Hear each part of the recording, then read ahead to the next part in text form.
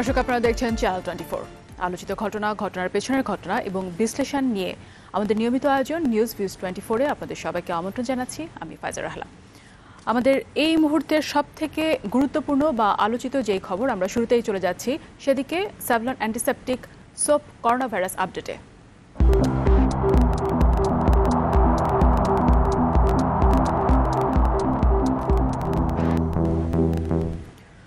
দর্শক, শনিবার দুপুর থেকে রোববার দুপুর পর্যন্ত বাংলাদেশে আরও আঠারো জন করোনা আক্রান্ত রোগী শনাক্ত হয়েছে। মারা গেছেন আরও একজন। এ নিয়ে করোনায় প্রাণহানি হলো নয় জনের। আর মোট আক্রান্ত হলো আটশো, আটাশি জন। স্বাস্থ্য অধিদপ্তরের নিয়মিত অনলাইন ব্রিফিংয়ে একথা জানানো হয়েছে। ব্রিফিংয়ে স্বাস্থ্যমন্ত্রী জানিয়েছেন, কারখানা ছুটি দেয়া অথবা খোলা নিয়ে স্বাস্থ্য অধিদপ্তরের কিছু করার নেই।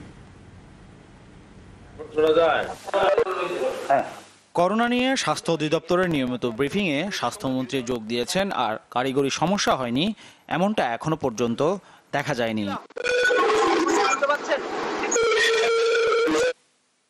রোববারও ব্রিফিংয়ে একই অবস্থা।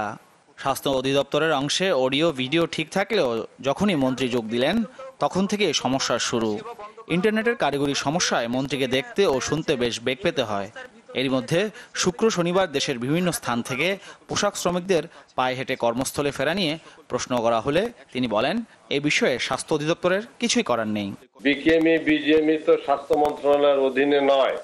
কাজেই তারা তো আমাদের কাছে জিজ্ঞেস করার তো তাদের কোনো প্রয়োজন মনে করে নাই। কিন্তু এই জিনিসটি সঠিক হয়নি। দেশের চোদ্দটি জায়গায় কোভিড নাইন্টিনের পরীক্ষা করা হচ্ছে। শনিবার দুপুর থেকে রোববার দুপুর পর্যন্ত তিনশো সাতষট্টিটি নমুনা পরীক্ষা করা হয়েছে। এর মধ্যে আঠারো জনের শরীরে করোনার উপস্থিতি পাওয়া গেছে। এই আঠারো জনের বারো জনই রাজধানী ঢাকার। আর নতুন আরও একজনের মৃত্যুসহ দেশে করোনা মৃতের সংখ্যা নয় জনে দাঁড়িয়েছে। তিনশো সাতষট্টি নমুনা পরীক্ষা করা হয়েছে। তার মধ্যে আমরা আঠেরো জনের মধ্যে সংক্রমণ পেয়েছি। তেরো জনের সংক্রমণ পেয়েছি আমরা আইডিসিআর এর নমুনা পরীক্ষার মাধ্যমে। এবং আরও পাঁচজনের মধ্যে সংক্রমণ পেয়েছি অন্যান্য হাসপাতালে পরীক্ষার ফলাফল হিসেবে। গত চব্বিশ ঘন্টায় একজন মৃত্যুবরণ করেছেন। ব্রিফিংয়ে স্বাস্থ্য অধিদপ্তরের মহাপরিচালক জানান এই মুহূর্তে ছেচল্লিশ জন করোনা রোগীর চিকিৎসাধীন আছেন আর সুস্থ হয়ে বাড়ি ফিরেছেন তেত্রিশ জন। এছাড়াও আইসোলেশনে আছেন চুরাশি জন। গত চব্বিশ ঘন্টায় সবগুলো মিলিয়ে সাতানব্বই হাজার নয়শো আটচল্লিশটি কল এসেছে এবং এখন পর্যন্ত তেরো লক্ষ সত্তর হাজার পাঁচশো তিরাশিটি ফোন কল এসেছে। গত চব্বিশ ঘন্টায় নতুন করে দশ জনকে আইসোলেশনে নেওয়া হয়েছে এবং তিনজনকে আইসোলেশন থেকে ছেড়ে দেওয়া হয়েছে। এখন পর্যন্ত চারশো বিশ জনকে আইসোলেশন করা হয়েছিল, যাদের মধ্যে তিনশো ছত্রিশ জনকে ছেড়ে দেওয়া হয়েছে। মানিকগঞ্জের সিংড়াইয়ে একজন করোনা আক্রান্ত হওয়ায় পুরো পৌরসভা লকডাউন করেছে প্রশাসন। এছাড়া চার জেলায় চারজন করোনার উপসর্গ নিয়ে মারা গেছেন। Mahfuz Kamal channel twenty Dhaka. দর্শক এই করোনা পরিস্থিতি এবং যারা আসলে নতুন করে আক্রান্ত হচ্ছেন, যারা আক্রান্ত হয়েছেন এবং যারা মারা গিয়েছেন এই পুরো ব্যাপার নিয়ে আলোচনা করতে এবং পরবর্তীতে কি ধরনের পরিস্থিতি হতে পারে, আমাদের কি ধরনের প্রস্তুতি দরকার আছে, এই বিষয়গুলো নিয়ে কথা বলতে এখন আমাদের সাথে স্টুডিওতে উপস্থিত আছেন ডক্টর আব্দুস শাকুর খান বক্ষব্যাধি ও মেডিসিন বিশেষজ্ঞ ট্রেজারার বাংলাদেশ লাং ফাউন্ডেশন। আপনাকে অনেক ধন্যবাদ আমাদের সাথে যোগ দেবার জন্য। ধন্যবাদ আপনাকে। আহ, শুরুতেই আসলে আমরা যেই খবরটি মাত্রই দেখে আসলাম যে করোনায় প্রাণহানি হলো নয় জনের আর মোট আক্রান্ত হলো আটাশি জন। আহ, অনেক রকমের সংশয় এবং ভীতি কিন্তু কাজ করছে এবং সংখ্যাটি আমরা দেখছি ক্রমশই বাড়ছে। প্রথম দিকে যেই শনাক্ত হওয়ার পরিমাণ ছিল যে দিনে তিনজন, নতুন রোগী তিনজন তিনজন, এবং সেটা আসলে এখন আমরা দেখতে পাচ্ছি যে একদিনে আসলে আঠারো জন করোনা রোগী শনাক্ত হচ্ছে। এখানে আসলে তার মধ্যে যদি নয়জন মারা গিয়ে থাকেন, এখানে আমার যে প্রথম প্রশ্ন, সবার মনে আসলে মৃত্যুভীতি কাজ করছে। এই যে নজন মারা গেলেন, ইনারা আসলে কীভাবে মারা গেলেন? ইনারা কি হাসপাতাল পর্যন্ত বা চিকিৎসা পর্যন্ত পৌঁছাতে পারেননি? এরকম অবস্থায় মারা গেলেন কিনা? আর আরেকটি ব্যাপার হচ্ছে যে ইনাদের অন্য রকম, অন্য কোনো রোগ আসলে এই করোনা পরিস্থিতিকে আরও খারাপ করল কিনা? ওনারা কি শুধুমাত্র এই করোনা ভাইরাসের কারণেই মারা গেলেন, নাকি ওনাদের আরও কোনো অসুখ বিসুখ ছিল? ধন্যবাদ। অ্যাকচুয়ালি আমরা যদি হিসাব করি যে আমাদের দেশে গত আটই মার্চ প্রথম কেসটি শনাক্ত হয়, সেই হিসাবে প্রায় এক মাস আমরা অতিক্রান্ত হচ্ছি। এখন বিষয়টি হলো প্রথমে আপনি বলেছেন যে এই সংখ্যাটা আস্তে আস্তে বাড়ছে কেন? বাড়ছে দুটো কারণে। কারণ ভাইরাসটি তো অত্যন্ত নতুন। আমরা কিন্তু অন্যান্য বিশ্বের অন্যান্য দেশে আক্রান্তের সংখ্যা কীভাবে বেড়েছে সেখান থেকে একটি অনুমান করতে পারি। এই ধরনের প্যান্ডেমিক বা এপিডেমিক যেটাই বলেন, এই সিচুয়েশনে এই সংখ্যা কিন্তু ধীরে ধীরে বাড়ে, সময়ের সাথে বাড়ে। আমরা প্রথমে তিনটি কেস পরবর্তীতে দুটি এভাবে করে এখন গতকালকে সম্ভবত নয়টি নতুন কেস পেয়েছি, আজকে আঠেরোটির ঘোষণা হয়েছে। এটা এই রোগের বিস্তারের সাথে অন্যান্য দেশে যেভাবে বিস্তার করছে, তার সাথে একটি কিন্তু মিল আছে। আমি বলতে পারি দুটো কারণে আমরা বেশি পাচ্ছি। একটি হচ্ছে সময়ের সাথে জ্যামিতিক হারে রোগটি যেহেতু সংক্রমণটা ছড়ায়, তাহলে যতই সময় যাবে, আমরা পিকে আসা পর্যন্ত এই সংখ্যা বৃদ্ধি দেখতে পারি। আরেকটি বিষয় হলো পরীক্ষার সংখ্যা। যদিও প্রথম দিকে খুব সীমিত আকারে আমরা পরীক্ষা করেছি এখন আপনি জানেন যে আমরা প্রায় আঠাশটি কেন্দ্রে করব ভবিষ্যতে ইতিমধ্যে চোদ্দোটি কেন্দ্রে এই পরীক্ষা সুযোগটা বিস্তার করেছে। যেহেতু পরীক্ষার সংখ্যা বেড়েছে আমি ধরে নিতে পারি পরীক্ষার সংখ্যা বৃদ্ধি মানে সেন্টারের সংখ্যা বৃদ্ধি এবং একই সাথে সময় বৃদ্ধি এই দুটো কারণেই হয়তো এখন সংখ্যাটা বেশি পাচ্ছি। আপনার আরেকটি প্রশ্ন ছিল যে এই যে নয়জন মৃত্যুবরণ করলেন তারা কি শুধু করোনায় মৃত্যুবরণ করেছেন অথবা সবাই কি হসপিটালে এসে মৃত্যুবরণ করেছেন? আসলে আমি যতটুকু দেখলাম, যতটুকু আমাদের কাছে সংবাদ আছে, সকলে হসপিটালে ছিল না, কারও কারও বাসায় মৃত্যু হয়েছে, তবে বেশিরভাগ অংশই হসপিটালে চিকিৎসাধীন ছিল। যেহেতু এদের অধিকাংশেরই বয়স পঞ্চাশ ঊর্ধ্ব, আমি জেনেছি যা, এবং অধিকাংশেরই কোমরবিডিটিস যেমন ডায়াবেটিস হাইপারটেনশন হার্টের অসুখ এগুলো ছিল, সেজন্য বহির্বিশ্বের দিকে যদি তাকাই তাহলে এই রোগী যাদের বয়স বেশি, যাদের অন্যান্য অসুখ যেমন ডায়াবেটিস, হাইপারটেনশন, আপনার ধরেন হার্ট ডিজিজ থাকে, তাদের মধ্যে এই মৃত্যুর ক্যাজুয়ালিটি যেটা বলি ডেথ রেটটা বেশি। ওটার সাথে মিল রাখলে এই মৃত্যুর কারণ হিসেবে ওগুলোকেও আনা যায়। একেবারে সরাসরি করোনা আক্রান্ত হয়েই মারা গেছে এমন কথা বলব না, তবে করোনাটা এই মৃত্যুকে সহায়ক হিসাবে ছিল। আর আরেকটা জিনিস হচ্ছে, সকল রোগী কিন্তু আসলে হাসপাতাল পর্যন্ত আসার প্রয়োজন নাই। আপনি জানেন যে বেশিরভাগ রোগী মৃদু পর্যায়ে থাকে। আমরা মাইল্ড বলি। এদেরকে নির্দেশনা দেওয়া হয় যে বাড়ি ভিত্তিক অর্থাৎ বাড়িতে থেকে এইখান থেকে আপনার কাছে আবারও আমরা ফিরবো। আহ, আসলে আমরা মৃত্যু পর্যন্ত ভেবে ফেলছি কিন্তু আসলে কত শতাংশ রোগী আসলে অতখানি ঝুঁকিতে যাচ্ছেন এই বিষয়টি নিয়ে আমরা ফেরত আসব তবে আমরা পরবর্তী একটি খবরের পরে। করোনা পরিস্থিতি ও এর পরবর্তী অর্থনৈতিক মন্দা মোকাবেলায় প্রধানমন্ত্রী শেখ হাসিনা বাহাত্তর হাজার সাতশো পঞ্চাশ কোটি টাকার প্রণোদনা প্যাকেজ ঘোষণা করেছেন। সাধারণের খাদ্য নিরাপত্তা নিশ্চিতে নগদ অর্থ বিতরণ, বিনামূল্যে খাদ্য বিতরণ সহ চার স্তরের কর্মপন্থাও নির্ধারণ করেন তিনি। গণভবনে এক সংবাদ সম্মেলনে এই সব কর্ম পরিকল্পনা জানান সরকার প্রধান। যে ব্যাপক কাজ করে যাচ্ছে তার শুভ করোনা পরিস্থিতি মোকাবেলায় দেশবাসীর সহযোগিতায় সরকারের নেয়া নানা উদ্যোগ আর করণীয় নিয়ে প্রধানমন্ত্রীর এই সংবাদ সম্মেলন। নভেল করোনা ভাইরাস এর প্রাদুর্ভাব আজকে সমগ্র বিশ্বব্যাপী ছড়িয়ে পড়ায়। শুরুতেই বাংলাদেশ সহ বিশ্ব করোনা পরিস্থিতি তুলে ধরে প্রধানমন্ত্রী বলেন প্রস্তুত ছিল বাংলাদেশ। বিশ্বব্যাপী করোনা ভাইরাস সংক্রমণে বাংলাদেশের অর্থনীতির উপর কী ধরনের বা কতটুকু নেতিবাচক প্রভাব পড়বে তা এখনও নির্দিষ্ট করে বলার সময় আসেনি। খেটে খাওয়া সাধারণ মানুষের জীবিকায় করোনার যে থাবা পড়েছে তা থেকে উত্তরণে নগদ অর্থ বিতরণ সহ নানা পদক্ষেপ নেওয়ার কথা জানান তিনি।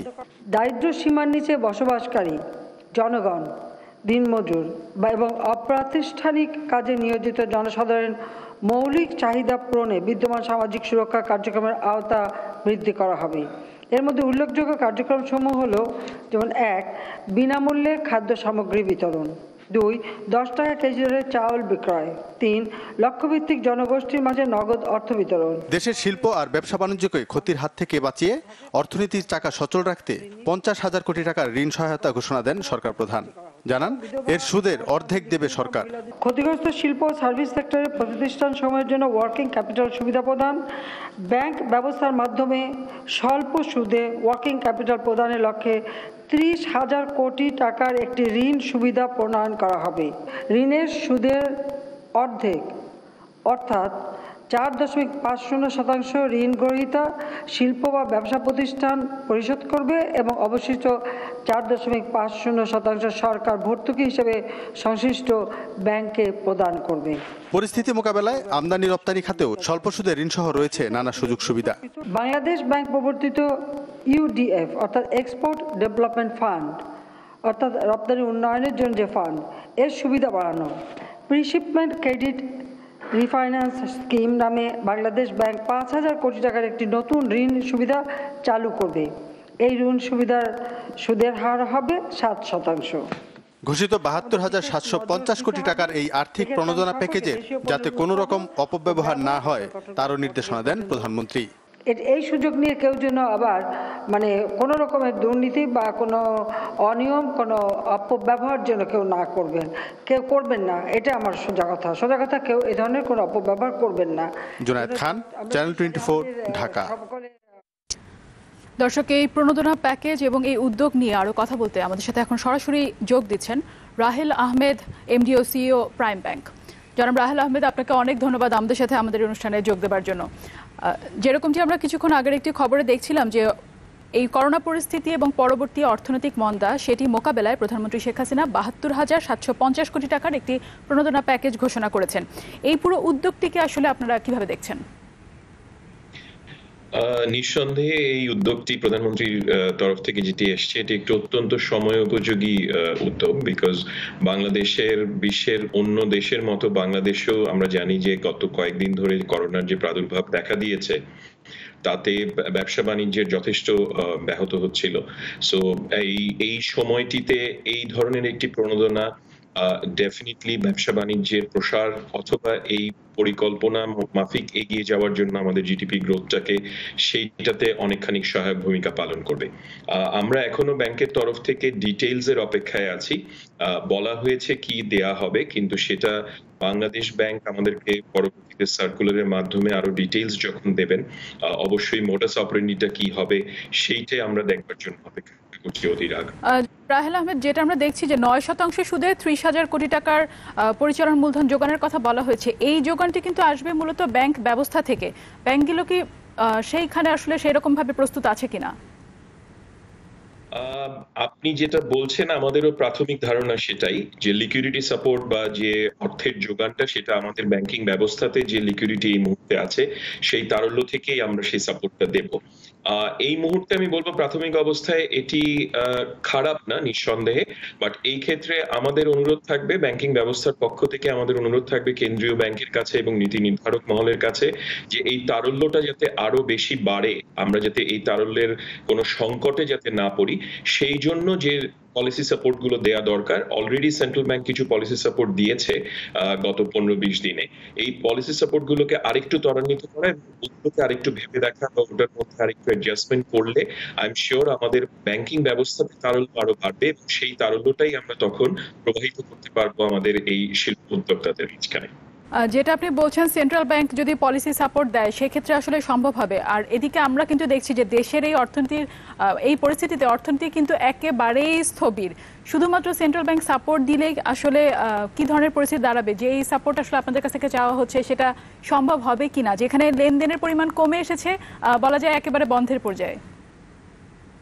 আপনি হয়তো বলবেন যে ব্যক্তিগত পর্যায়ে লেনদেনের পরিমাণ কমছে। আমি কিন্তু এটাকে সম্পূর্ণ ওইভাবে দেখি না। কেননা আমরা, আপনারা জানেন যে গত লকডাউন বা পার্শিয়াল লকডাউন যে সাধারণ ছুটি ঘোষণা করা হয়েছে, তারপর থেকে আমরা কিন্তু সীমিত পরিসরে ব্যাংকিং পরিষেবা দিয়ে যাচ্ছি। আমরাও একটা সম্মুখ সমরে আছি, আমাদের অনেক ব্যাংকিং সহকর্মী সেই ব্যাংকিং সেবা দিয়ে যাচ্ছে। আমরা দিনের পর দিন গত দশ বারো দিনে আমরা যেটা খেয়াল করেছি, যে এসেনশিয়াল কমোডিটিস এবং বিভিন্ন ব্যবসা প্রতিষ্ঠানের বিভিন্ন ধরনের ব্যবসার কাজের কিন্তু ব্যাংকিং সেবা তারা নিয়ে যাচ্ছেন। এবং আমরা আজকে আমি আপনাকে বলতে পারি যে গত কয়েকদিনের তুলনায় আজকে আমরা আমাদের ব্রাঞ্চগুলোতে অনেক বেশি ভিড় পরিলক্ষিত হয়েছে। এটা একদিক থেকে যেমন একটু ডিফিকাল্ট টু ম্যানেজ কিন্তু আমরা সোশ্যাল ডিস্টেন্স মেনটেন করেই সেটা করছি।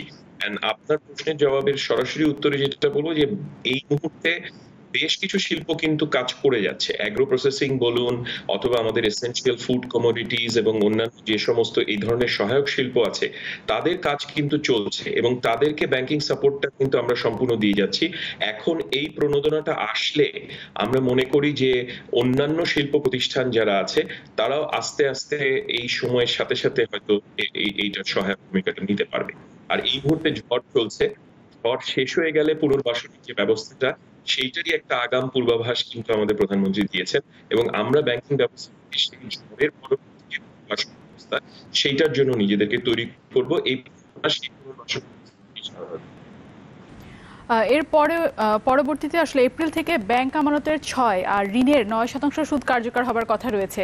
পরিবর্তিত যেই পরিস্থিতির জন্য আসলে আমরা তৈরি হচ্ছি এবং আমরা আশা ভেবেই নিচ্ছি আসলে একটা বড় ধরনের চেঞ্জ আসবে। অর্থনীতি শুধু অর্থনীতি নয়, পুরো সব সিস্টেমেই চেঞ্জটা আসবে। সেই বাস্তবায়ন করতে বা বাস্তবায়নের কোনো চ্যালেঞ্জ দেখবেন কিনা যদি ঋণের নয় শতাংশ এবং আমানতের ছয় শতাংশ সুদ কার্যকর করা হয়? ঋণের নয় শতাংশ কিন্তু এখন আর কার্যকর না হওয়ার কোনো কারণ নেই। এটা পয়লা এপ্রিল থেকে কার্যকারিতা শুরু হয়ে গেছে। আমি যতটুকুন বলতে পারি ব্যাংকিং ব্যবস্থার পক্ষ থেকে যে আমরা অধিকাংশ ব্যাংক সেই ব্যবস্থা অলরেডি কার্যকর করা শুরু করে দিয়েছি এবং সর্বপর্যায়ে নয় পার্সেন্টের সুদ কার্যকর হচ্ছে। চ্যালেঞ্জ যেটা হচ্ছে এই করোনা পরিস্থিতির কারণে আমাদের এই মুহূর্তে জনবলের কিছুটা সংকট আছে কেননা আমরা আমাদের সমস্ত সহকর্মীদেরকে অফিসে আনতে পারিনি। বাট আমরা আগে থেকে এটার একটা প্রিপারেশন নিয়েছিলাম সপ্তাহ তিন চারেক আগে থেকে। সো সেই পরিকল্পনা মাফিক এই এক্সিকিউশনটা চলছে। হয়তো কোনো কোনো ব্যাংকে এই এক্সিকিউশনের ক্ষেত্রে একটু কয়েকদিনের হেরফের হবে বাট এইটি কিন্তু আহ, কার্যকর অলরেডি হয়ে গেছে। জনাব রাহেল আহমেদ, আপনাকে অনেক ধন্যবাদ আমাদের সাথে যোগ দেওয়ার জন্য এবং এই বিষয়গুলো নিয়ে আপনার মতামত জানানোর জন্য। ধন্যবাদ। আমরা শুনছিলাম আসলে যে প্রণোদনা প্যাকেজের কথা বলা হচ্ছে সেই বিষয়টি নিয়ে এবং স্বাস্থ্য খাতেও হয়তো খুবই গুরুত্বপূর্ণ কিছু সিদ্ধান্ত এর মধ্যেই আসবে বা এসেছে। আমরা যেখানে আসলে আপনার সাথে ছিলাম, যেটা আপনি বলছিলেন যে মৃত্যু আসলে নয় জনের হয়েছে, তাদের হয়তো বয়স বেশি ছিল, তাদের আরও অন্যান্য কিছু রোগ ছিল। এখানে এখন আমার যে প্রশ্নটি, উপসর্গ, যত মানুষ আসলে আক্রান্ত হচ্ছেন, যদিও আমরা দেখছি যে এটি এইট এখন পর্যন্ত শনাক্তের সংখ্যা হচ্ছে আটাশি জন।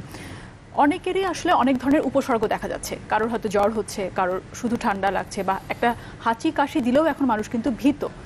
এই রকমের কোনো একটা উপসর্গ দেখা দিলেই তাকে কি আসলে ডায়াগনোসিস করতেই হবে যে তার করোনা হয়েছে? তাকে কি আসলে টেস্টটা করতেই হবে কিনা? বা কখন উনি ভাববেন যে আমাকে এখন ফোন দিতে হবে, আমাকে এখন আইডি স্যারে যেতে হবে বা যে সমস্ত জায়গায় আসলে পরীক্ষাগুলো হচ্ছে, সেখানে আমাকে যেতে হবে?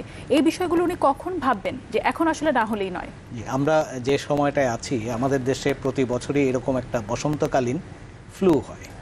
আপনি জানেন যে এই ফ্লুতে সাধারণ সর্দি হয়, একটু হয়তো জ্বর থাকে, শরীর ব্যথা থাকে। এই ধরনের সাধারণ উপসর্গকে আমাকে ফ্লু হিসাবেই ধরতে হবে। আবার আরেকটা জানেন যে আমাদের একটা ব্যাপক জনগোষ্ঠী, প্রায় সাত পার্সেন্ট অ্যাজমা রোগী আছে বা সিওপিডি রোগী আছে। তাদেরও এই ঋতু পরিবর্তনকালীন কিছু কাশি, হাঁচি বা শ্বাসকষ্ট হতে পারে। সেটাও আসলে এই আওতায় আসা উচিত না। ডেফিনেটলি যতদিন আপনার পার হয়েছে এই করোনা ভাইরাস বা কোভিড নাইন্টিন তাতে আমরা প্রধান উপসর্গগুলো জেনে গিয়েছি এবং জনগণকে বিভিন্নভাবে জানানো হয়েছে। যদি কারও সর্দি কাশি শুকনো কাশি বিশেষ করে এবং সেই সাথে উচ্চমাত্রার জ্বর থাকে তখন যদি তার সাথে আরও কিছু ইতিহাস থাকে যেমন সে কোনো করোনা রোগীর সংস্পর্শে এসেছে অথবা বিদেশ থেকে আগত কারও সাথে গত চোদ্দ দিনের মধ্যে তার সংস্পর্শ ঘটেছে। এরকমও রোগী পেয়েছি যারা আসলে বিদেশ ফেরত কারোর সাথে সংস্পর্শে আসে হ্যাঁ এটা রোগের একটি পর্যায়। আপনি জানেন এই রোগটি আমাদের দেশের নয়। এটা কোনো না কোনোভাবে বিদেশ থেকে এসেছে যাত্রীর মাধ্যমে। এটা যখন সমাজে বিস্তার লাভ করে, তার একটা পর্যায়ে কিন্তু ওই সংস্পর্শের ইতিহাস লাগে না। এখন পর্যন্ত আমাদের সরকার রাষ্ট্রীয়ভাবে যেটি ঘোষণা দিয়েছে যে সীমিত আকারে সামাজিক সংক্রমণ ঘটছে, এটা অত্যন্ত সীমিত আকারে, ব্যাপক আকারে এখনও প্রকাশ পায়নি। সেই জন্য এই সময়টা আমরা যদি সেই হিসাবটা ধরি, তারপরও বিশেষ করে উচ্চমাত্রার জ্বর, সাথে কাশি এবং গলা ব্যথা কখনো কখনো শ্বাসকষ্ট। এই উপসর্গগুলো যদি কারও দেখা দেয়, সে অবশ্যই উনি হটলাইনে যোগাযোগ করবেন স্থানীয় কেন্দ্রে যোগাযোগ করবেন এবং সেখান থেকে স্যাম্পল সংগ্রহ করা হবে। আপনি একটি বাস্তব কথাই বলেছেন, সকলের পরীক্ষা দরকার কিনা, অথবা কীভাবে এটাকে সর্ট আউট করা যাবে। একটা সিস্টেম আছে, সেটাকে বলা হয় স্ক্রুটিনি স্ক্রুটিনি যে পরীক্ষা দিয়েই করতে হবে তা নয়। টেলিমেডিসিনের মাধ্যমে, অর্থাৎ টেলিফোনের মাধ্যমে যখন কিছু প্রশ্ন করা হবে, যদি মনে করা হয় যে উনি বা তিনি এই সংক্রামক ব্যাধিতে আক্রান্ত, তখন তাকে সাধারণত এই পরীক্ষার জন্য আমন্ত্রণ জানানো হবে মানে তার কাছ থেকে স্যাম্পলটা সংগ্রহ করা হবে। এই বিষয়গুলো নিয়ে আমরা আরও অনেক আলোচনা করব, তবে ছোট্ট একটি বিরতি নিয়ে এসে। দর্শক, কিছুক্ষণের মধ্যে ফিরছি বিরতির পরে, সাথেই থাকুন।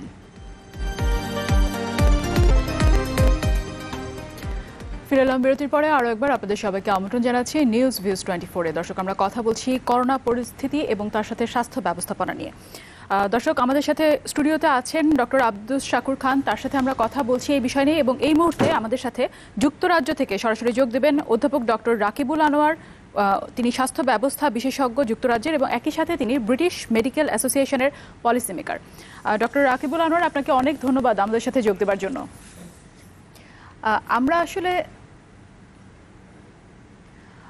আমরা যেটা দেখছি যে আমরা ডিসেম্বর মাসে প্রথম টের পেয়েছি এই করোনার উপস্থিতি সম্পর্কে এবং প্যান্ডেমিক ঘোষণা করা হয়েছে।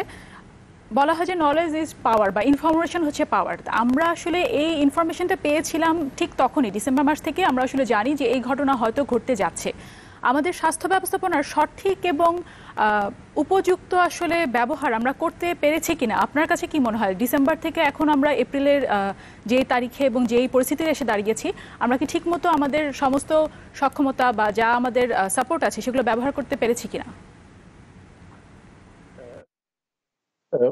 যেটা দেখা যাচ্ছে, সেটা বলাটা হ্যাঁ বা না বলাটা খুবই ইনফরমেশন যেটা থাকার কথা, সেটা ইনফরমেশনটা তো তো, মিডিয়াতেও নাই এমনি আমাদের সরকার থেকেও ঠিক মতো দেওয়া হচ্ছে না। যার ফলে ব্যবস্থাটা ঠিক মতো হয়েছে কিনা, সেটা বলা খুবই মুশকিল। যেটা বলা যেতে পারে যে বাংলাদেশে প্রস্তুতি আহ, কারণ একটা দেশের স্বাস্থ্য ব্যবস্থা যখন অনেক সেই স্পিডটা থেমে গেছে তখন আসলে এই রকম পরিস্থিতি ফেস করা যে কোনো স্বাস্থ্য ব্যবস্থার জন্য খুবই ডিফিকাল্ট আমরা যদি ইউরোপের বা অন্যান্য দেশের প্রস্তুতিটা দেখি ইভেন এশিয়ান ইয়েতে সাউথ কোরিয়া সিঙ্গাপুর এদের যদি প্রস্তুতি দেখি, তাহলে বোঝা যাবে যে ইনফরমেশনটা আমরা ঠিক মতো ডাইজেস্ট করতে পারিনি। আমি বলব যে, এটার জন্য দায়ী পলিসি মেকাররা আর দুঃখ হলেও সত্যি যে, আমাদের দেশে যে এক্সপার্ট থাকা উচিত। আহ, সে এক্সপার্ট আমাদের দেশে নাই। আজকে কেবল আনোয়ার ঠিক এইখানে আপনার কাছে আমার প্রশ্ন যে কোন বিষয়গুলোর অভাব এখন আপনি মনে করছেন যেটার আসলে আশু সমাধান জরুরি বা কোনো পদক্ষেপ এই মুহূর্তে বাংলাদেশকে নিতে হবে? এরকম কোনো আইডিয়া আপনার আছে কিনা বা পরামর্শ আছে কিনা? প্রথম কথা হচ্ছে যে যখন একটা জিনিস কিছুটা আননোন আর এটা নতুন ভাইরাস মারাত্মক ভাইরাস যখন নতুন তখন আমাদের কতগুলো মডেল অ্যাডপ্ট করতে হয়। যেরকম দুটো জিনিস চলছে সারা পৃথিবীতে এখন। একটা হলো ম্যাথমেটিক্যাল মডেল আর একটা হলো সোশ্যাল মডেল ম্যাথমেটিক্যাল মডেলে ইউকেতে যেটা ইম্পেরিয়াল কলেজের নীল ফার্গুসন যেটা ইয়ে করেছে সেটা এবং অক্সফোর্ডের যে রিসার্চ ইউনিটটা করছে। তাদের অ্যাডভাইস অনুযায়ী গভর্নমেন্ট চলছে। আর আমাদের দেশে কার কথায় কি চলছে সেটা তো জানা বড়ই মুশকিল। যেটা আমাদের করা দরকার সেটা হচ্ছে যে অনেক কিছু ব্যাপার স্যাপার আছে। কিন্তু কতগুলো স্টেপ আছে। প্রথম স্টেপটা হলো যে কোয়ারেন্টিন বা social distancing that is the most important thing for us কারণ আমাদের পরবর্তীকালে ডায়াগনোসিস ট্রিটমেন্ট এগুলার ব্যবস্থা খুবই প্রিকেরিয়াস সুতরাং আমাদের যে প্রথম জিনিসটা, সেটাই করা দরকার। এবং লিডারশিপের অভাব তো মারাত্মকভাবে দেখা যাচ্ছে। আজকে গার্মেন্টস ফ্যাক্টরির লোকজন সব ফিরে আসার কথা হচ্ছে, শুরু করে দিয়েছে। এটা তো হওয়া একদমই উচিত হয়নি। কিন্তু নেতৃত্ব কে দিবে? নেতৃত্ব তো মানে যাদের দেওয়া উচিত। আমার মতে একমাত্র আইসিডিডিআরবি বাংলাদেশে একটা খুব ভালো একটা অর্গানাইজেশন যাদের উচিত ছিল তার সরকারের উচিত ছিল তাদেরকে সঙ্গে নেয়। কিন্তু আমি ঠিক বলতে পারব না, কারণ সরকার কি করছে বা মানুষ কি করছে বা হেলথ সেক্টর কি করছে, সেটা তো মানুষ জানতে পারছে না। মানুষ যে- যার মতো অ্যাকশন নিচ্ছে। এবং সেটা অবশ্যই এখন বন্ধ করতে হবে লিডারশিপ আনতে হবে এবং সোশ্যাল ডিস্টেন্সিং খুব ভালোভাবে মানতে হবে। তাহলে হয়তো আমরা বিপদের থেকে কিছুটা হলেও সরে আসতে পারব। ডক্টর রাকিব যেটা আপনি বলছেন যে এখানে আসলে নেতৃত্বের একটি অভাব দেখা যাচ্ছে বা সেই জায়গাটিতে আসলে দাঁড়ানোর মতো আমরা কোনো এখনও হয়তো উপযুক্ত জায়গায় নেই। বিশ্বের কিন্তু সমস্ত দেশে এই অদৃশ্য মহামারীর বিরুদ্ধে লড়াই করে যাচ্ছে এবং কিছু দেশ বাদে বলা হয় যে অন্যান্য দেশগুলোর স্বাস্থ্য ব্যবস্থাপনা আমাদের থেকে উন্নত। এরকম কোনো দেশ বা কোনো সিস্টেমকে আসলে আমরা কি মনে করেন যে আমরা ফলো করতে পারি বা আমরা তাদের থেকে কিছু পদ্ধতি বা সিদ্ধান্ত নিতে পারি এবং সেটাকে অনুকরণ করতে পারি, সেটা কি আসলে আমাদের এই স্বাস্থ্য ব্যবস্থায় ভূমিকা রাখতে পারবে কিনা? ভূমিকা কেন করতে পারবে না? প্রথম করে সেগুলোকে আইসোলেট করতে হবে। যারা এখনও হয়নি যারা এখনও অসুস্থ হয়নি তাদেরকে সোশ্যাল ডিস্টেন্সিং এর মাধ্যমে আইসোলেট করতে হবে। দ্য প্রবলেম আমাদের যেখানে হচ্ছে যে কোনো কম্প্রিহেন্সিভ কোনো প্ল্যান নাই। কম্প্রিহেন্সিভ প্ল্যান থাকতে হবে। যে আমরা আশা করছি যে আহ, এত দিনে ইয়েটা ছড়াবে অসুখটা ছড়াবে এবং ততদিন আমরা কীভাবে এটা ম্যানেজ করব সেটারই পরিপূর্ণ অভাব বলে আমি মনে করছি। এবং সেটা যদি চলতে থাকে, সম্পূর্ণভাবে আমরা আল্লাহর উপর নির্ভর করে বসে আছি। সেটা তো কোনো নেতৃত্বের কাজ নয়। নেতৃত্বের কাজ নেতৃত্ব দেয়া এবং তা সেগুলো দিতে গেলে ইনফরমেশন ইজ ইম্পর্টেন্ট এবং on the basis of information আমাদেরকে অ্যাকশন নিতে হবে। সেই অ্যাকশনগুলো আমি দেখছি না। ডক্টর রাকিব এই যে প্যান্ডেমিক আকারে যে রোগটি ছড়িয়ে গেল করোনা ভাইরাস নিয়ে আমরা যে কথাগুলো বলছি, পুরো বিশ্বে কিন্তু খুব দ্রুত গতিতে এটা ছড়িয়ে গেল কয়েক মাসের ব্যবধানে। আসলে নভেম্বর থেকে শুরু করে আজকের আমরা যদি অবস্থা চিন্তা করি, এটা খুবই কম সময়। আপনার কি মনে হয় যে এই যে একটা বৈশ্বিক ব্যাধি পুরো বিশ্বের চিকিৎসক, গবেষক সবাই যদি আসলে একসাথে কাজ করতেন, এটা প্রতিরোধ করতে এবং তারপরে চিকিৎসা কি হবে সেই বিষয় নিয়ে, তাহলে কি আসলে আমরা, এবং ভ্যাকসিন নিয়ে যদি আসলে সেটা নিয়ে কাজ করা হতো, তাহলে কি আমরা এর থেকে ভালো জায়গায় থাকতাম কিনা এখন এখন যেই অবস্থা আছে তার থেকে? প্রথম কথা হচ্ছে যে এটা একটা নতুন ভাইরাস এটা even if you see a film যে কন্টেজিয়াম এটাতে সে দুই হাজার এগারো সালে বা নয় সালে এটার পুরাপুরি জিনিসটা সিনারিওটা ওখানে প্লে আপ করা হয়েছে। সুতরাং এটা এক্সপেক্টেড ছিল। আমরা সারা পৃথিবী সেইভাবে প্রস্তুতি গ্রহণ করতে পারেনি। কিছু কিছু জায়গা ছাড়া, যেরকম সাউথ কোরিয়া জার্মানি তারা খুব ভালোভাবে করেছে। জার্মানিতে প্রায় ষাট হাজার সত্তর হাজার লোকের অসুখটা হয়েছে, কিন্তু মারা গেছে মাত্র বারোশো। কারণ হচ্ছে যে, তারা they got it right from the very start জানুয়ারির মাঝামাঝি সময়ে তারা এটাকে ডিটেক্ট করার টেস্ট তৈরি করেছে। ফেব্রুয়ারিতে প্রথম যে মিউনিকে যে নয় জনের হয়েছিল সেই গ্রুপটাকে অ্যাসেস করে, রিসার্চ করে তারা সবকিছু বের করেছিল এবং তারা খুব দ্রুত টেস্ট এবং কোন সময় তাদের আইসোলেশন করা দরকার, কখন তাদেরকে ডিসচার্জ করতে পারবে, এ সব জিনিস তারা অনুধাবন করতে পেরে তারা সেই অনুযায়ী রিয়াক্ট করেছিল। সেই জিনিসগুলা অন্যান্য স্বাস্থ্য ক্ষেত্রেও হওয়ার প্রয়োজন ছিল। কিন্তু যারা ঠিক সেই অনুযায়ী কাজ করতে পারেনি তারা অনেক কিছুই ভুল ভ্রান্তি করেছে। অনেকেই ভুল করেছে ব্রিটিশ গভর্নমেন্টও প্রথমে ভুল করেছিল, তারপরে আবার চেঞ্জ করেছে, আবার অ্যাডপ্ট করেছে। সুতরাং আমাদেরও এখনও সময় আছে যে বাংলাদেশের লিডারশিপ তৈরি করে যারা এক্সপার্ট আছে, তাদেরকে দিয়ে অ্যাকচুয়ালি কি করা উচিত, কীভাবে করা উচিত, সেটা ঠিক করা উচিত। ডক্টর ডাক্তার রাকিবুল আনোয়ার আমি আমি একটু একটু সম্পূরক প্রশ্নই করতে চাচ্ছি। আমি শুনলাম আপনার কাছে। তো আমরা এখন যে অবস্থায় আছি, আমাদের এখানে প্রথম কেস ডিটেকশন হয় মার্চের আট তারিখে। আমরা প্রায় এক মাসের মতো অতিক্রান্ত এবং আমরা দেখছি আমাদের ফলাফল কি হচ্ছে। এরকম একটা অবস্থায় থেকে আমাদের মতো একটি স্বাস্থ্য ব্যবস্থায়, আসলে আপনার ওখান থেকে বুঝে আপনি কি এমন কোনো পরামর্শ দিবেন যে আগামী দিনগুলোতে আমাদের আসলে কোন কোন জিনিসকে প্রায়োরিটি দিয়ে আমরা আগাবো? প্রথম প্রায়োরিটি হচ্ছে আগামী এক মাসের ভিতর। কোনোভাবে বাইরে বেরোনো মানে স্টে হোম যে পলিসিটা সেটা ফুললি ইমপ্লিমেন্ট করতে হবে। জীবন মরণ ছাড়া কেউ বাইরে যাবে না।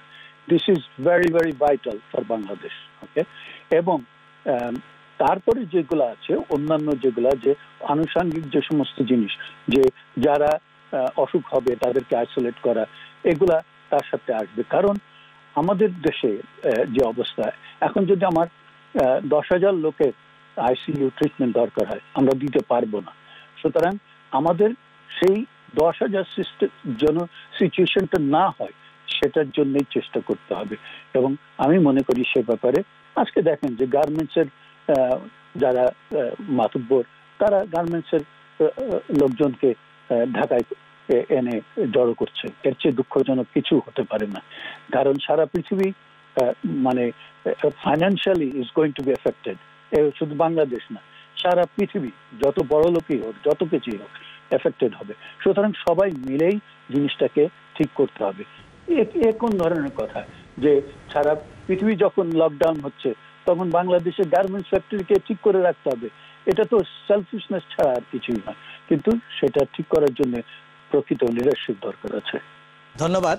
আমারও মনে হয় তাই যে আমরা চাই না অসুস্থ হোক মানুষ। আর সেটাই যদি না চাই, তাহলে ভাইরাসটি যেহেতু অতি সংক্রমক, আমাদের এই ভাইরাল যে চেইনটা এটা ব্রেক করতে হবে। ব্রেক করার জন্য আমাদের সবচেয়ে বেশি গুরুত্ব দিতে হবে স্টে হোম সোশ্যাল ডিস্টেন্সিং এবং এইটাকে সত্যিকার অর্থে মেনে নেওয়া। এবং যাতে আমরা সত্যিকার অর্থে মেনে নেই যে সমস্ত জায়গা থেকে বললে বিষয়টি বেশি গুরুত্ব পাবে, সেই জায়গা থেকেই বারবার এটা অ্যাড্রেস করা উচিত।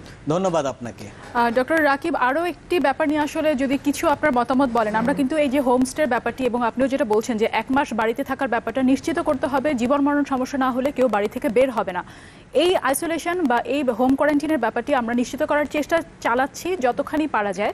এর পরবর্তী ব্যাপারটি কি হবে? যখন আসলে আমরা এক মাসের একটি সময় বা সেটা যতদিন পর্যন্ত আসলে বলা হয়, তারপরে যখন সবাই একসাথে বাড়ি থেকে বের হয়ে আসবেন, তখনকার পরিস্থিতিটা নিয়ে আসলে কোনো রকমের আপনাদের ধারণা বা সেই বিষয় নিয়ে কোনো বক্তব্য আছে কিনা যে তখন আরও কোনো সমস্যার তৈরি হতে পারে কিনা? ওকে, এই এই ব্যাপারে ইভেন পৃথিবীর সমস্ত এক্সপার্টরাও একমত হতে পারছে না। কারণ হচ্ছে যে দেখা যাচ্ছে যে অক্সফোর্ড গ্রুপ বলছে যে within next two weeks or so এটা ডিক্লাইন করতে থাকবে। ওয়ারাজ ইম্পেরিয়াল গ্রুপ বলছে যে না, এটা ডিক্লাইন করতে আরও সময় লাগবে। আর একটা জিনিস কেউ বলতে পারছে না, সেটা হচ্ছে যে ওই লকডাউন শেষ হওয়ার পরে আবার যখন খুলে দেওয়া হবে, তখন কি আবার রিসার্জেন্স হবে কিনা, সেটা কেউই বলতে পারছে না। তবে আমার যেটা ইয়ে সেটা হচ্ছে যে, আমাদের পুরাপুরি এপ্রিল মাসটা দেখতে হবে এবং শেষের দিকে গিয়ে আবার প্রত্যেকটা মুহূর্তেই আমাদেরকে সারা পৃথিবীর সাথে যোগাযোগ রাখতে হবে, কে কি করছে, কি হচ্ছে, এগুলা সবকিছুই actually on is on the web সেই অনুযায়ী আমাদেরকে ব্যবস্থা নিতে হবে। দ্যার ইজ নো ওয়ে যে আমি এই মুহূর্তে বা কোনো এক্সপার্টই এই মুহূর্তে এক মাস পরে কি হবে সেটা বলতে পারবে। সুতরাং we have to decide as it comes and the leadership has to decide that for us তার মানে আসলে আমাদের সেই সিদ্ধান্ত নেওয়ার এখনও সময় আসেনি। এই সময় আমরা খালি এখনকার সিদ্ধান্তটাই নিতে পারি এবং পরিস্থিতি বিবেচনা করে পরবর্তী সিদ্ধান্তে পৌঁছাতে হবে। ডক্টর রাকিবুল আনোয়ার আপনাকে অনেক ধন্যবাদ আমাদের সাথে আমাদের অনুষ্ঠানে যোগ দেওয়ার জন্য। দর্শক, আমাদের সাথে যুক্তরাজ্য থেকে সরাসরি যোগ দিয়েছিলেন স্বাস্থ্য ব্যবস্থা বিশেষজ্ঞ অধ্যাপক ডক্টর রাকিবুল আনোয়ার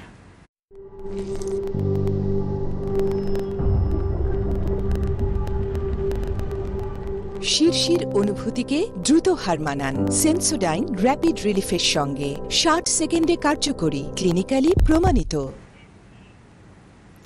আমাদের সময় হয়ে গেল, ছোট্ট আরেকটি বিরতি নেবার কিছুক্ষণের মধ্যে ফিরছি আরও অনেক খবর নিয়ে, সাথেই থাকুন।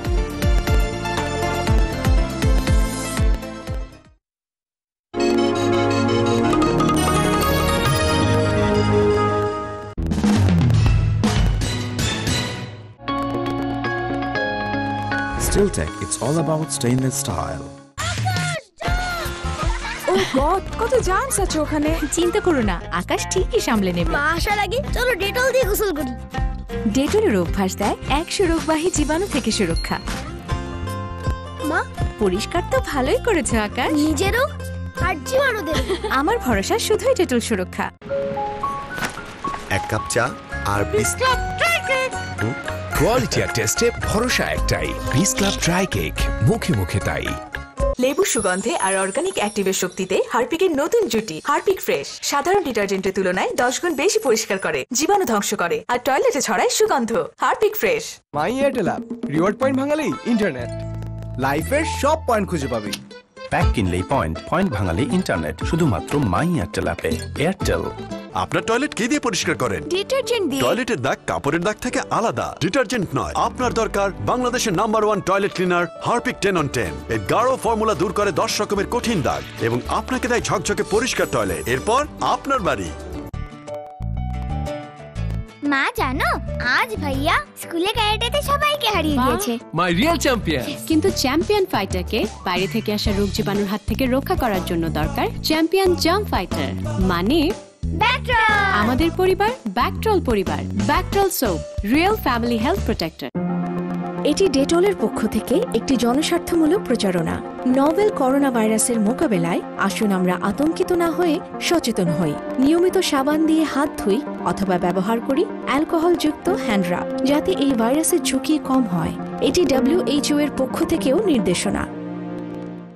এসির হাওয়া বাড়িয়ে দিল তাতে কিছু লাভ কি হলো। মাথা তো এখন আগুন। এসি বাড়ালেই কি আর মাথা ঠান্ডা হবে? বিদ্যুৎ খরচ কমান। ঘরে আনুন গ্রি এসি। গ্রি এসিতে আছে দশ বছরের ওয়ারেন্টি এর সঠিক BTU R four hundred ten gas golden fin এবং স্মার্ট ইনভার্টার টেকনোলজি তাই ঘর ও মাথা দুটোই থাকে super cool Gree AC bill কম ঠান্ডা বেশি। My Airtel app reward point ভাঙালেই internet লাইফের সব পয়েন্ট খুঁজে পাবি। প্যাক কিনলেই পয়েন্ট পয়েন্ট ভাঙালে ইন্টারনেট শুধুমাত্র মাই এয়ারটেল অ্যাপে এয়ারটেল। অ্যাক্টিভ সিমডিও প্লাসের প্রোটেকশন যুক্ত ব্যাকট্রল সোপ যা আমাদেরকে রাখে সম্পূর্ণ জাম ফ্রি পরিষ্কার এবং সুরক্ষিত। ব্যাকট্রল সোপ আমাদের পরিবার ব্যাকট্রল পরিবার।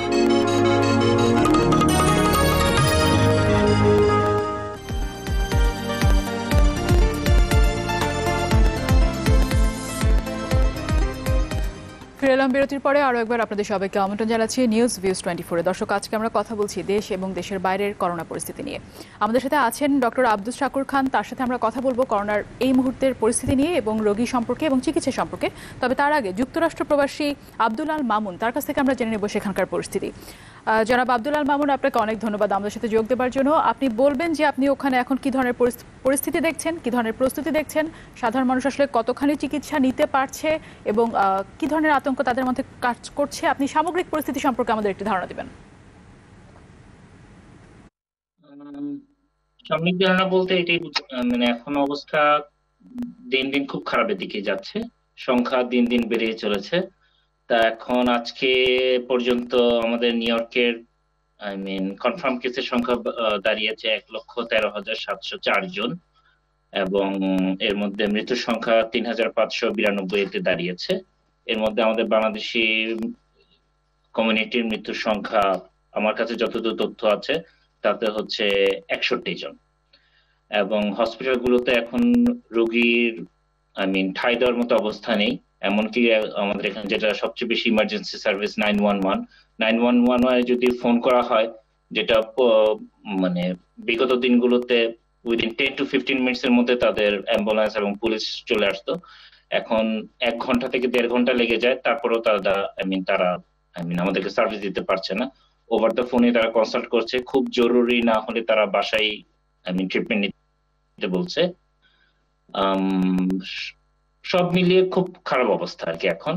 এখন গভর্নর চিকিৎসা ছাড়া যদি অন্যান্য প্রয়োজনীয় বা অন্যান্য জরুরি কোনো দরকার যদি হয় সেই ব্যাপারগুলোর কারণে আপনারা কোনো সাহায্য পাচ্ছেন কিনা? যদি কারোর হয়তো একটা কোনো একটা জরুরি ওষুধই কিনতে হচ্ছে অথবা অন্য যে কোনো কিছু সেই ধরনের সাপোর্টগুলো আপনারা পাচ্ছেন কিনা?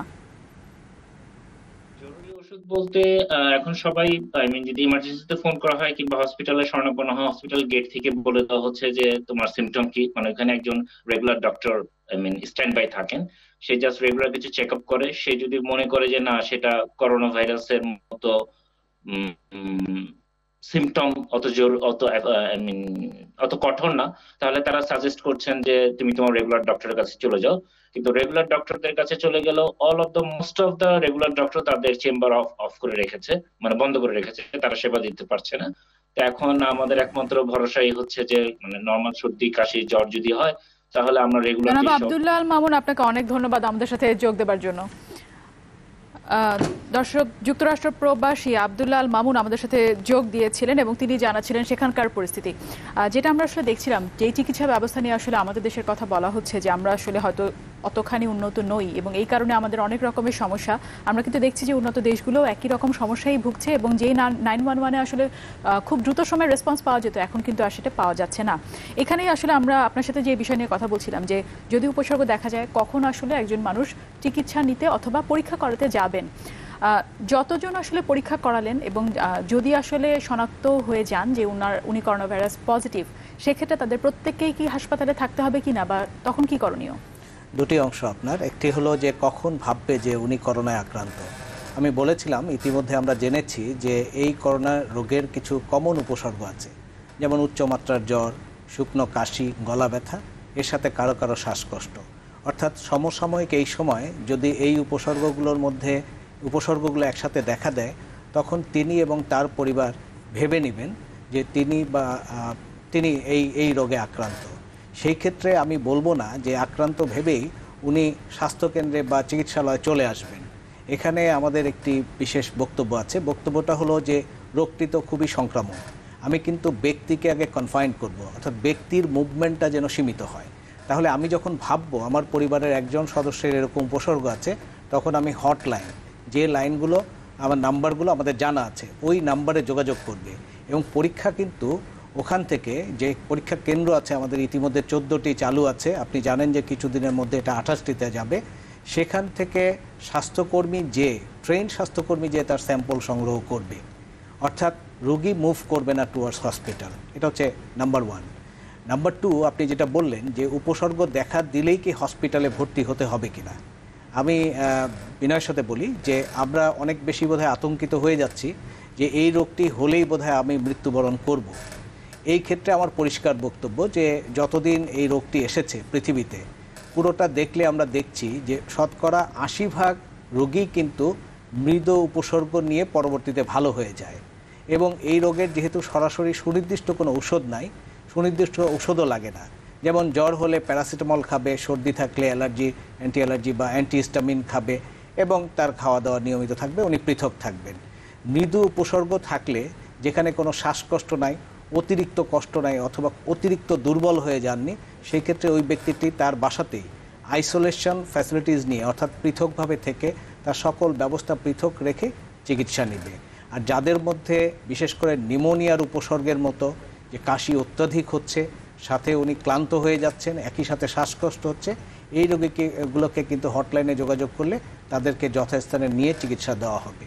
তার মধ্যেও একটি মিনিমাম পার্সেন্টেজ বলা হয় পাঁচ থেকে ছয় পার্সেন্ট তাদের কিন্তু আইসিইউ সাপোর্ট লাগতে পারে। অর্থাৎ দেখা যাচ্ছে, আমি যেটা কনক্লুশন মোটা দাগে বলি আশি ভাগ রোগীর ক্ষেত্রে আইসোলেশনে বাসায় থেকেই চিকিৎসা করানো সম্ভব, ফোনের মাধ্যমে টেলিমেডিসিনের মাধ্যমে। দশ ভাগ বা বিশ ভাগ ক্ষেত্রে হসপিটালে ভর্তির প্রয়োজন আছে এবং হসপিটালে ভর্তির একটি অংশের আইসিইউ সাপোর্ট, অর্থাৎ যেটা প্রায়শই কথা বলা হচ্ছে যে ভেন্টিলেটর ভেন্টিলেটর সাপোর্ট দরকার। এখন আমি এই প্রসঙ্গে একটি কথা বলি। আমরা যত বেশ, যত কম আক্রান্ত হব, তত এই ধরনের সুযোগ সুবিধার প্রয়োজন হবে। যেহেতু আমাদের একটা সামাজিক, অর্থনৈতিক প্রেক্ষাপট আছে বাংলাদেশ, আমাদেরকে এভাবেই ভাবতে হবে। আমাদের যুদ্ধটা করতে হবে এখনই বেশি। অর্থাৎ আমরা আইসোলেশন, কোয়ারেন্টাইন এবং সোশ্যাল ডিস্টেন্স যে কথাগুলো বলা হচ্ছে, এটাকে যত বেশি সুন্দরভাবে আমরা মেনে চলব, তাহলে আমি, আমার পরিবার এবং আমার সমাজ কিন্তু বড় ধরনের ঝুঁকির থেকে বেঁচে যাবে। আপনি যেটা বলছিলেন উচ্চমাত্রার জ্বর জ্বর আসলে কত হলে আমরা এই ক্ষেত্রে আপনারা কত পাচ্ছেন? কত উচ্চমাত্রা এখানে যে সমস্ত রোগীর কথা এসছে আর কি উপসর্গ, তার মধ্যে দেখা যাচ্ছে এই ধরনের রোগে সাধারণত একশো ডিগ্রির উপরে, বলা হচ্ছে একশো দুই, একশো তিন, একশো এক মানে উচ্চ মাত্রা। এটা এমন নয় যে গায়ে গায়ে জ্বর এরকম ক্ষেত্রে নয়, এটা হচ্ছে কমন কথা। ব্যতিক্রম কিছু থাকতেই পারে। সাধারণত একশো দুই, তিন, চার এরকম মাত্রার জ্বরগুলো থাকে এবং একই সাথে শুকনো কাশি শরীর ব্যথা বা দুর্বল লাগা, সাথে সর্দি, হাঁচি এগুলো। এই বিষয়গুলো নিয়ে আরও কিছু আলোচনায় হয়তো ফিরবো আমরা। আমরা এই মুহূর্তে একটি বিরতি নিচ্ছি। দর্শক দর্শক, পরবর্তীতে আরও অনেক খবর নিয়ে কিছুক্ষণের মধ্যে অন্যান্য খবরে আমরা চলে যাব। আর নিউজ বিস টোয়েন্টি ফোর থেকে আমরা নিচ্ছি বিরতি। আমরা বিদায় নিচ্ছি। সাথে থাকার জন্য সবাইকে ধন্যবাদ।